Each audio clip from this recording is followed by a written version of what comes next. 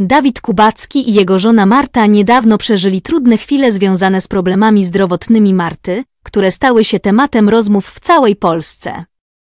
Na szczęście, sytuacja stabilizuje się, co przynosi ulgę zarówno im, jak i ich fanom.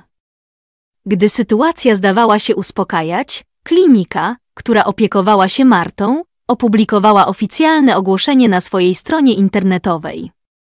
O szczegółach komunikatu poinformowano w poniedziałkowy wieczór.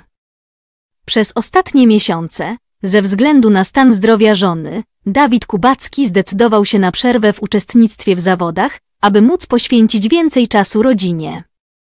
Cała Polska trzymała kciuki za powrót Marty do zdrowia, co na szczęście zaczęło się realizować.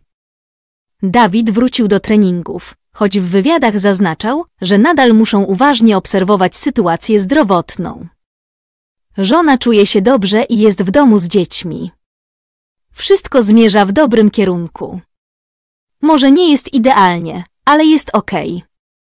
Gdyby sytuacja była inna, na pewno zostałbym w domu, wyznał Kubacki w jednej z rozmów z norweskimi dziennikarzami. Dodatkowo, problemy zdrowotne Marty przyczyniły się do wczesnego zdiagnozowania choroby u jednego z ich dzieci. Więcej na ten temat można przeczytać w poprzednim artykule. W ostatni poniedziałek, 18 listopada, na stronie facebookowej Trzecia Katedra i Klinika Kardiologii SUM SCCS Zabrze pojawił się zaskakujący komunikat dotyczący rodziny Kubackich. Jeśli ta historia Cię poruszyła, nie zapomnij zostawić likea pod tym artykułem. Podczas ostatniej wizyty w klinice, Marta i Dawid Kubaccy dzielili się swoimi doświadczeniami i aktualnym stanem zdrowia Marty. Na stronie placówki opublikowano zdjęcie z ich wizyty oraz komentarz dotyczący kontroli pracy kardiowertera defibrylatora, który jest monitorowany przez lekarzy Marty od dwóch lat.